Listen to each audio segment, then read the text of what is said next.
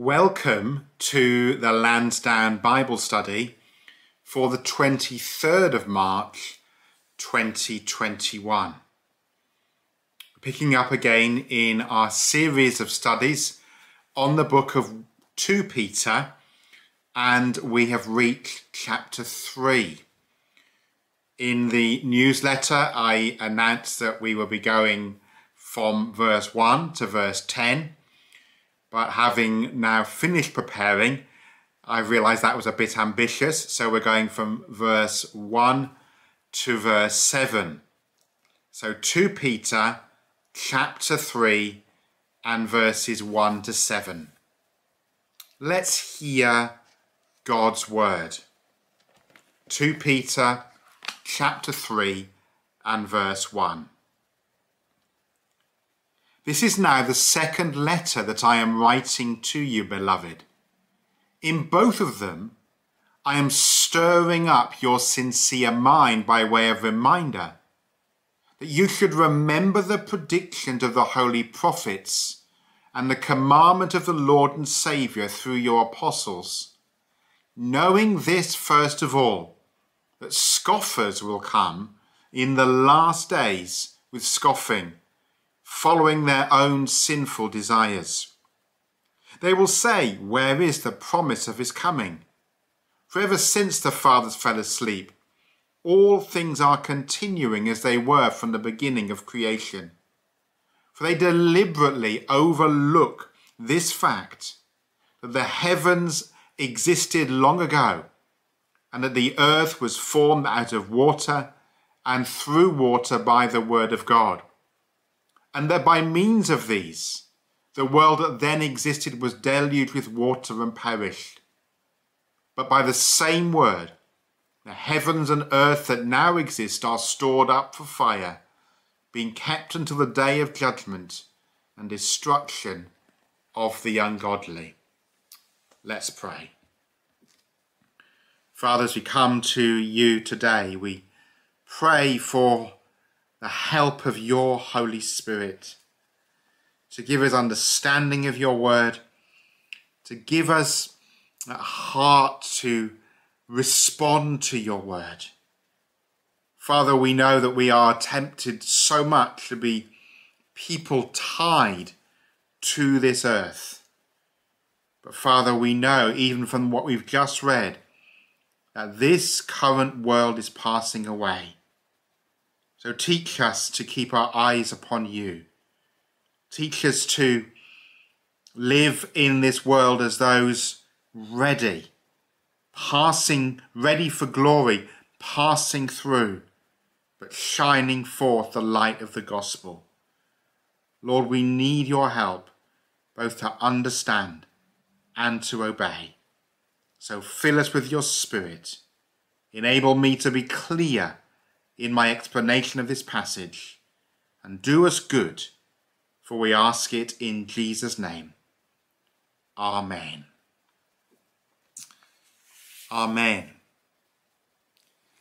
In my old job as an auditor, I was auditing a government department in quite an old and grimy building. Then for a few days there was huge activity cleaning, polishing, and washing every single little corner because the Queen was coming. The second coming of our Lord Jesus is infinitely more important than that event. It is our hope and our joy, and Scripture calls us to be ready.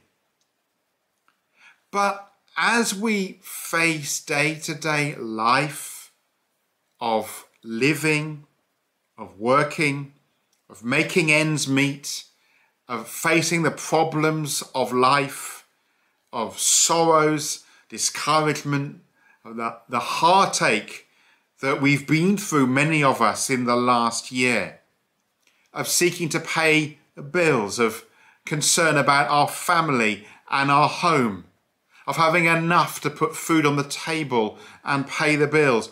All these things can cause us to lose sight of the second coming of Jesus Christ. It seems so far away. Now, in that time in my old job, I couldn't sit around for those that week or so of cleaning and planning and ordering and organizing for the coming of the Queen. But yet, the coming of the Queen to that building affected everything. It affected where I could go, who I could talk to, where I could put my papers, because everything had to be ready. In the same way, we don't sit around doing nothing while we're waiting for the coming of the Lord Jesus. We are called to live for his glory. We are called to work. We are called to witness. We are called to pray. We are called to worship, to do all the things of life, to bring up our children, to honor our parents, to serve our neighbors, to be involved in our communities. All of these things continue. It's a mistake to shut ourselves away and wait for the second coming of Jesus. Nonetheless, the second coming of Jesus should affect everything. It influences all that we are and do. The second coming of Christ, I'm told, I haven't actually counted myself, but I'm told the second coming of Jesus is mentioned around 300 times in the New Testament. It is explicitly mentioned in all but four books of the New Testament, and even in two of those other four, it's at least alluded to. The second coming of Christ is infinitely important. We have a glorious hope to look forward to, which brings perspective to the suffering and trouble in our lives. And we have things to get ready. We have to get ourselves ready. And we have to prepare the way through warning of others. And 2 Peter 3 covers these things. Now, in verse 1 uh, of chapter 3, Peter says, This is now the second letter that I am writing to you. He's referring back, as we've seen already, to First Peter or 1 Peter. And there he spoke about trials, persecution, on purity. He showed them how to live for God's glory as citizens of God's kingdom in an ungodly society, as spouses in an ungodly family as church members serving each other, as being humble before the Lord, even though the devil is like a roaring lion seeking someone to devour. The main emphasis, as we've said before, was physical persecution. In 2 Peter, the main emphasis is false teaching. They can also lead us away and discourage us in the things of God. And in chapter 1, he la- the foundation of true teaching. So we have that great assurance and that great comfort of what the gospel really is. And then we spend a couple of sessions on chapter 2 looking at false teaching, actually three sessions, false teaching, what, what they teach, what they're like, and what their final destination is. And then now we are in chapter 3, which looks at the second coming of Jesus. I want to point out to you two verses, one from each of the books. 1 Peter, first of all, 1 Peter 1 and verse 5, who says, Who, speaking about us, who are kept sorry, who by God's power are being guarded through faith for a salvation ready to be revealed in the last time. So Christ is coming, and the fullness of salvation is revealed when he comes. And we are kept or guarded through persecution and false teaching. And then in 2 Peter, chapter 2 and verse 9. It says, The Lord knows how to rescue the ungodly from trials. The Lord knows how to rescue the ungodly from trials. He knows how to keep us until Christ's coming. He knows how to keep us through Christ's coming so that we are welcomed into his eternal presence. We enjoy the fullness of our salvation in the new heavens and the new earth where righteousness dwells. So, over the next two or possibly three studies, we're going to look at how the second coming of Christ affects us today. Even though we have still, still have many things to do in our lives, the second coming of Christ affects us today. Now, the next study will actually be in four weeks' time, as in two weeks' time, I'm on leave. So, part one today, part two in four weeks' time, and maybe part three after that, but we'll see how we go.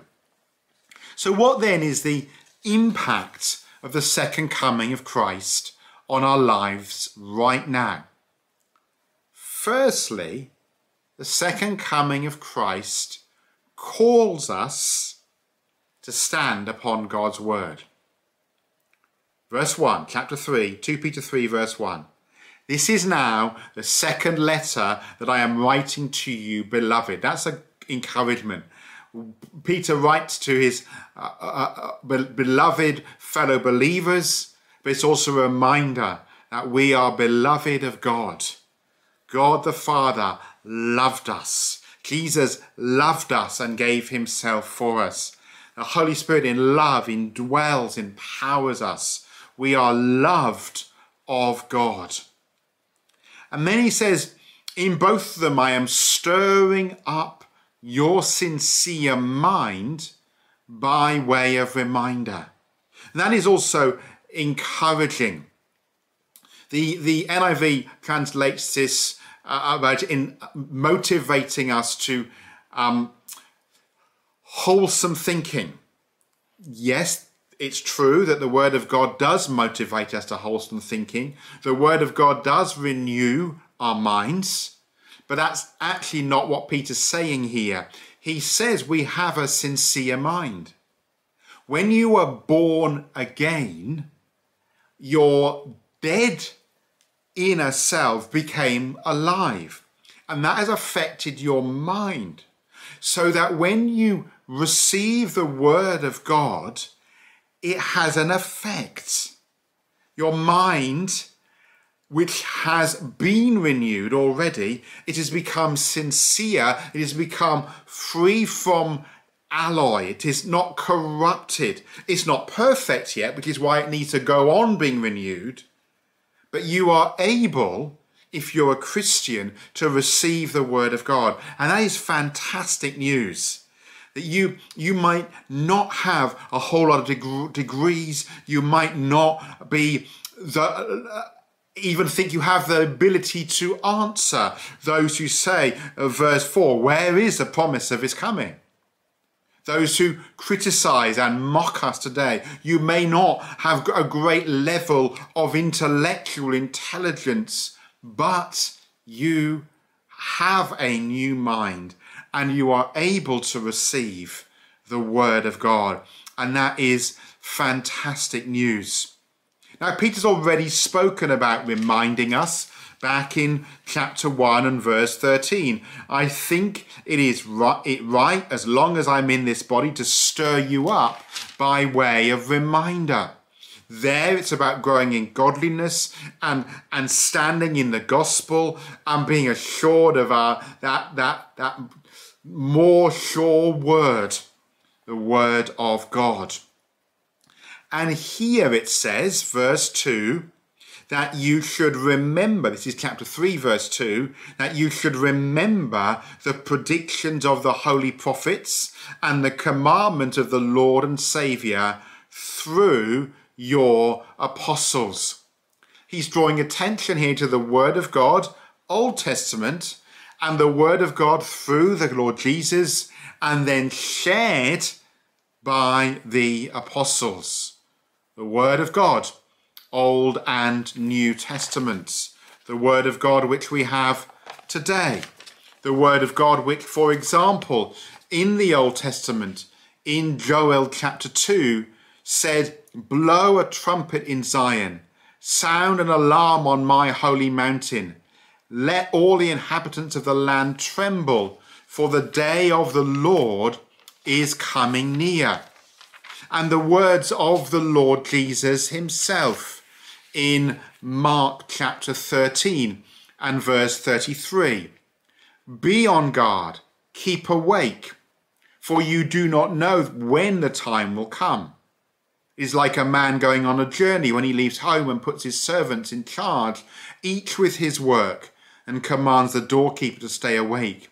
Therefore, stay awake, for you do not know when the master of the house will come in the evening or at midnight, or when the rooster crows or in the morning, lest he come suddenly and find you asleep.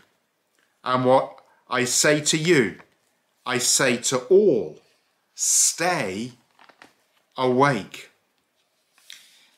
And that's a call to us. We stay awake. Notice that idea of what it says about being stirred up, stirring up, awakening your minds, awakening you to the truth. That's why we stand on the Word of God. A sure way to sleep spiritually is to keep our Bibles closed. So we need to be stirred up by the Word of God so that we are ready for His coming. The pressures of life dull our spiritual senses. Disappointments and, and fears uh, discourage us, and the Word of God refreshes and revives us. Indeed, the whole Word of God does. Notice here it talks about the holy prophets, the apostles, and the command of the Lord and Saviour. Often we have Bibles with words in red, as if to uh, suggest that the words of Jesus are somehow more authoritative than the rest of the Bible. No, the words of the holy prophets, the words of the apostles, indeed the whole of the Bible is the word of our Lord and Saviour, and therefore is to obey, be obeyed. And so we need this word to stir us up, to awaken us from sleep, especially because we, as we look to the second coming, stand out from the world. So the second coming demands we become a people of the word, we stand on the word, but the second coming also causes us to stand out from the world. Very interesting, verse 3 does not give a roadmap of the coming of Jesus. You can read books or watch YouTube videos which will give great big charts about this will happen, this will happen, this will happen. Peter does not do that because it's more important to be ready than to have all the answers about the timing and how Christ will come. In fact, godly Christians disagree on some of the details of that. And so the urgent thing is not to be uh, immersing ourselves in detail, but to be ready and to be warned that while we wait, there is a battle on. So Jesus, Peter says, knowing this first of all, you need to remember before anything else the reality that you are going to be attacked. You are going to be mocked. And he's warning us out of love.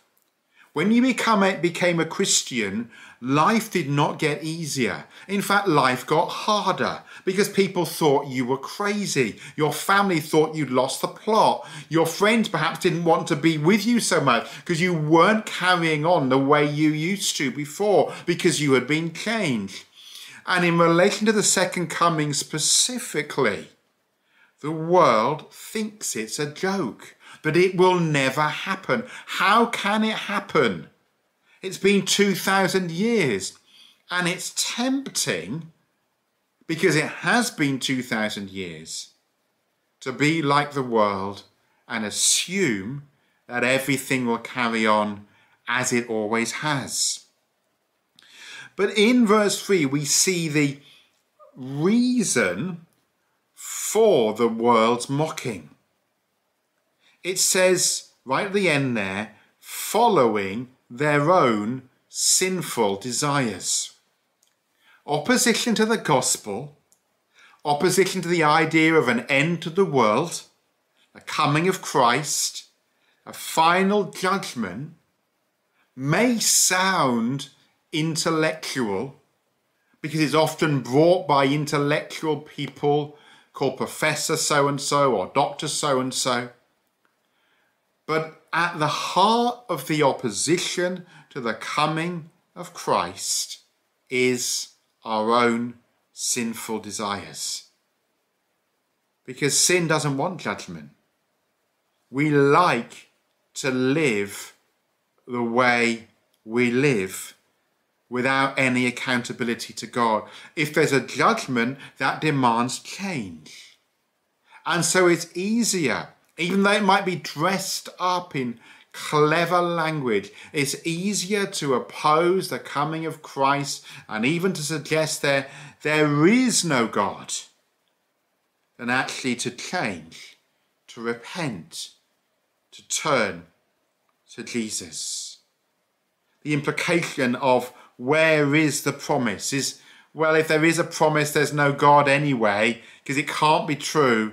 Or if there is a God, he's not really interested in this world, and so I can live the way I want. The language from the beginning um, of creation at the end of verse 4 reflects a worldview of Peter's day. Most people believe creation had a beginning. Not everybody did, but a lot of people did believe that that there was some kind of beginning to creation, but they didn't believe that there was an all sovereign, personal, holy, almighty, eternal, single God who had created everything out of nothing. And today people might say, oh, yeah, the universe began with a big bang. But there's no personal, eternal God who brought everything into being and sustains everything by his word. People might talk about the laws of science or the laws of nature, but essentially, they do not believe there is a eternal God to whom they must give an account. And therefore, they must believe, in order to keep their consciences at bay, that there is no second coming and there is no final judgment. And if we are to stand in the face of this opposition, then we need, yes, to be a people of the word, but not just people of the word, a people who see the world through the lens of Scripture. I am looking into the lens of a camera right now. And so you see me with all my lengthening hair, and perhaps I've missed a bit when I've been shaving, you see all of that through the lens of a camera. They say the camera doesn't lie. Well, maybe it does or it doesn't. But the one thing that doesn't lie is the Word of God. And they say, verse 4, it's all gone on the same since creation. Has it? Well, the Word of God tells us it hasn't. The world tells us that the universe came into existence through a random event called a Big Bang. And if that is true, then we are just random events brought about by evolution, and so we have no worth and we can do what we want to do. There's no accountability, no judgment in the world's view because there is no God and no rules, so we can live for the here and now. But this is not what God says. I was read a story the other day about a tourist in Ireland. who was lost and they saw a farmer and they went up to the farmer and said, How do I get to this place? And the farmer said, and I won't do the accent, the farmer said, If you want to get there, I wouldn't start from here. The world wants peace and security, but if it wants those things, it can't start from where they are right now. It needs to start, and if we want to grow and be secure as we wait for Christ's coming, we need to start with the Word of God. The Word of God reveals the world had a beginning. So it says, verse 5, they deliberately overlook, and this shows it's a choice. They deliberately overlook this fact that the heavens existed long ago and the earth was formed out of water and through water by the Word of God. And so, if we turn to the beginning of the Bible, to the book of Genesis and chapter 1, it says, In the beginning, God created the heavens and the earth. The earth was without form and void, and darkness was over the face of the deep, and the Spirit of God was hovering over the face of the waters. That's why Peter refers to waters in chapter 3 and verse 5. Uh, and God said, Genesis 1 3, and God said, Let there be light. And there was light.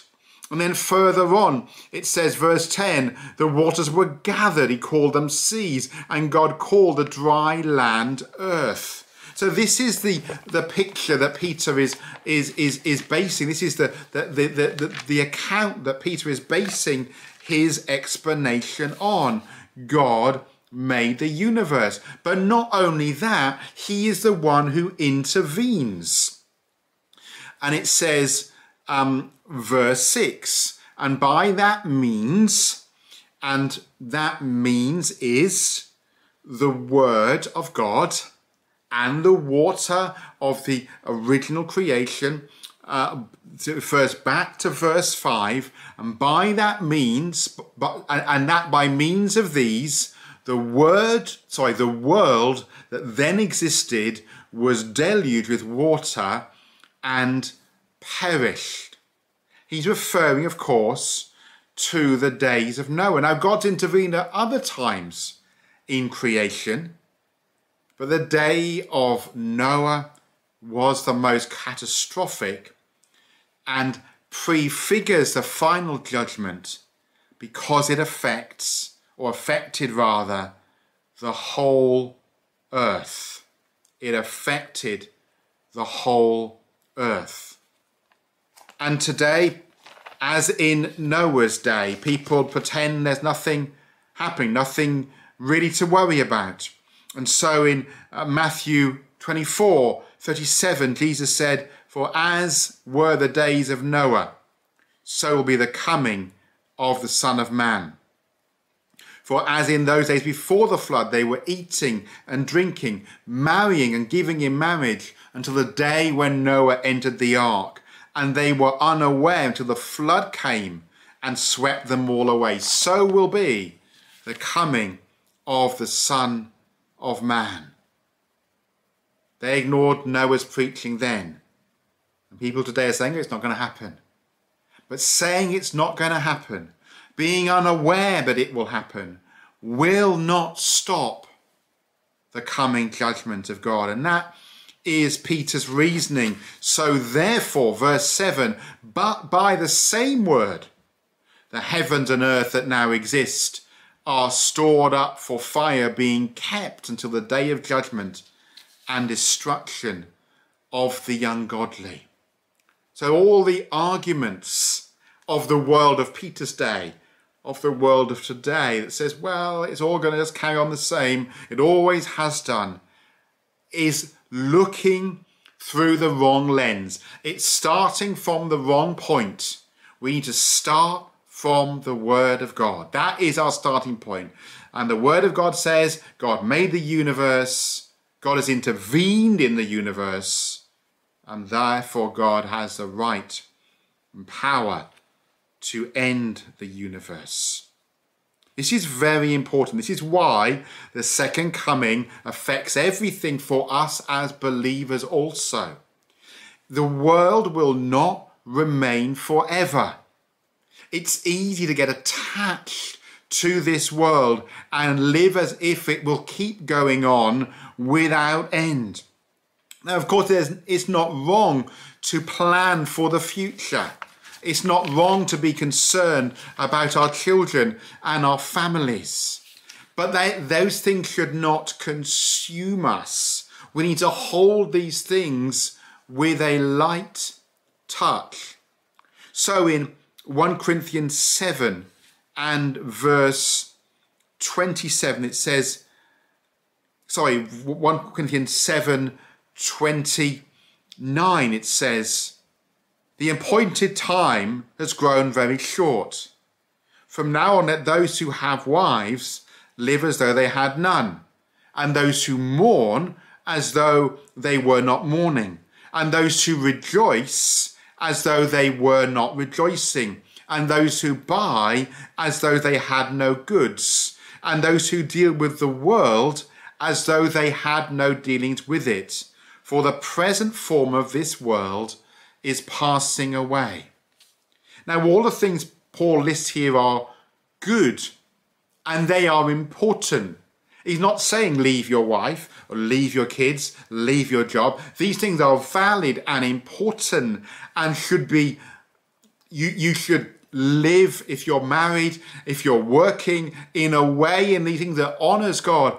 But he's saying these things are not our final authority. Your God is not your wife or your husband or your children or your job or your home or your phone or your car or any other things. The Lord Almighty is God. And these things, all these things, even the good things, are passing away. And we live for Christ and his coming. And all these things will be passing away. It says about fire and the day of judgment and destruction of the ungodly. In Noah's day, the world of sinful man was destroyed. But the structure of the world, the world itself remained. But when the final judgment comes, the fire of God will come through the whole of creation.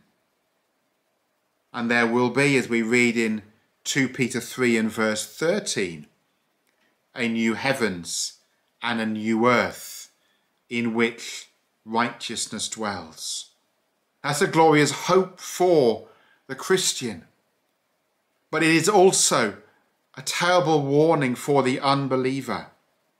And while I will say more about this next time, because there's not time now to continue through the rest of the chapter, these sobering truths about the, the, the, the, the fact this creation will come to an end and there'll be a new heaven and a new earth and that there will be a judgment, it says, a judgment and destruction of the ungodly.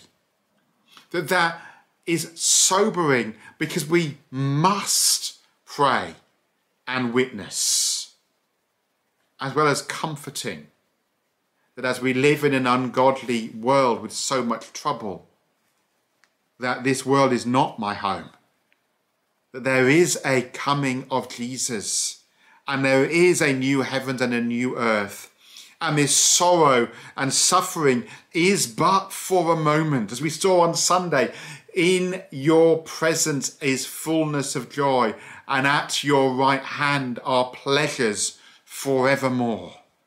This is the truth, brothers and sisters. But notice also, and this is important as we begin to draw this study to a close, notice the centrality in verses 5 to 7 of God's Word. Creation is by the Word of God. End of verse 5 the earth was formed out of water and through water by the Word of God.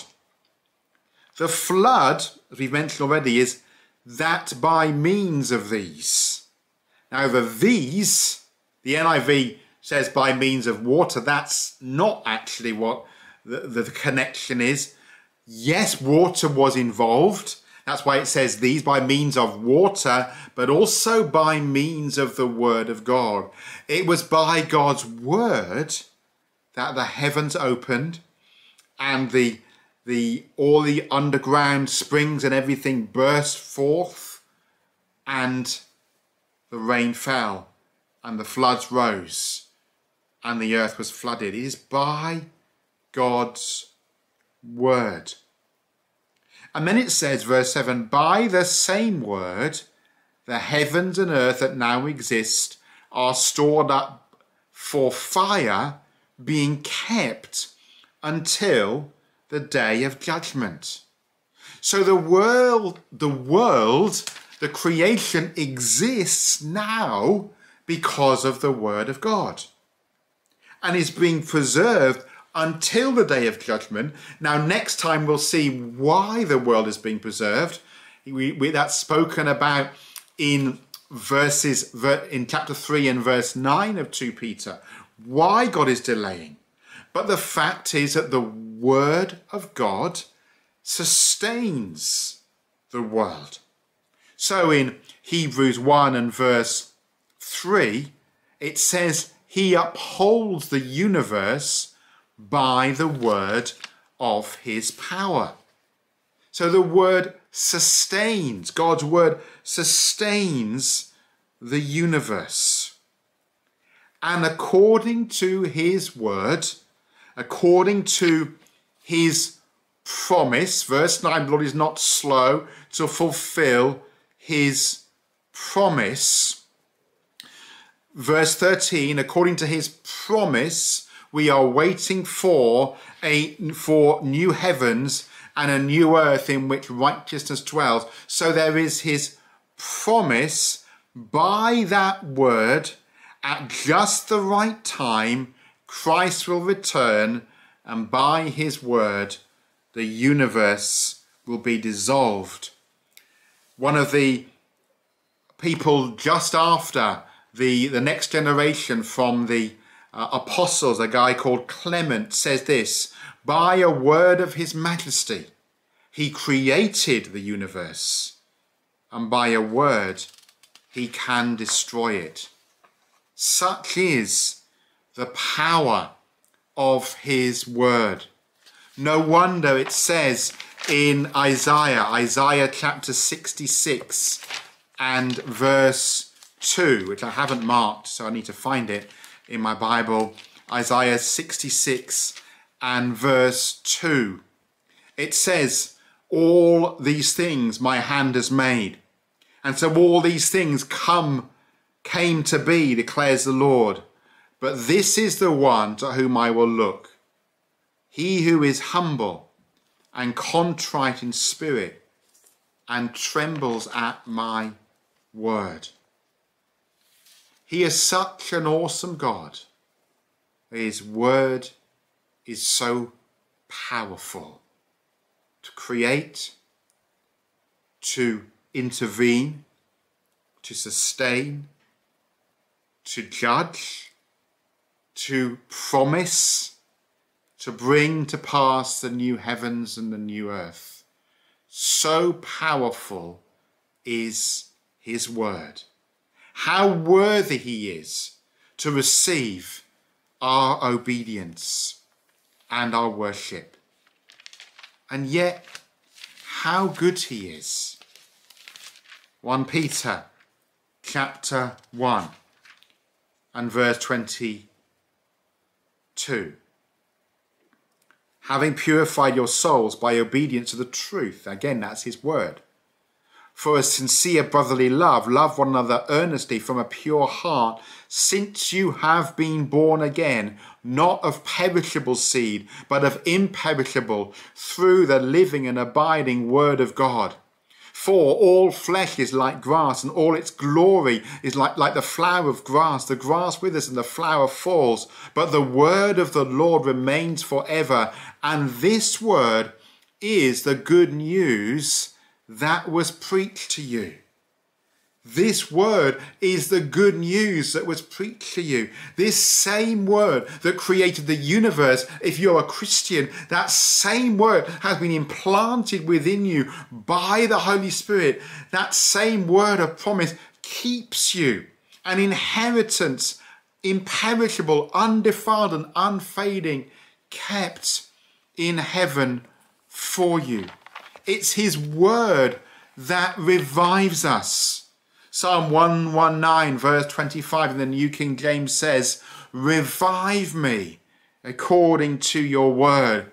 And also Psalm 119, but verse 130 says, The unfolding of your word gives light. His word saved you. His word sustains you. His word revives you. His word guides you. Brothers and sisters, Jesus is coming. His timing is not ours. Yes, there is a delay, and we'll see more of why next time. But He's not left us alone. He is with us by His Spirit. He is, as Peter tells us in chapter 1, He has given us all things that pertain to life and godliness. He's granted us His precious and very great promises. And He's given us His word. Let's stir up our minds and lives by His word. Let's not sleep or drift. Let's worship Him for the saving power of Jesus revealed to us by His word and the power of His word by which we were born again. Let's look at the world through his eyes and not our own. Let's examine our lives in the light of his word because this world is not forever. Let's encourage ourselves by the promises of his word and let's share the word of his gospel and pray his word. Let's pray. Father, help us to be ready for Christ's coming. Help us to stand on your word. Help us to see the world through your eyes, through the lens of Scripture. And help us, Lord God, to live your word in these days. And we pray that you would use us to bring many people to yourself. Comfort, encourage us, revive us, guide us refresh us through your word, by your Spirit, in Jesus' name. Amen. Amen. Just some pointers for prayer. Pray that the Lord would help us to be a people of His word and that He would protect us from being carried away by the prevailing opinions of the world around. Ask the Lord to help you to live in the light of his coming, to live godly so that we are ever ready for him to return.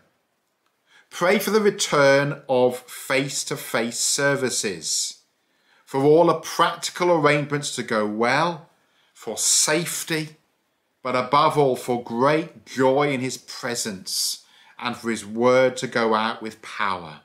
Pray that we would see a return of visitors to our services and that the online messages would reach more and more people.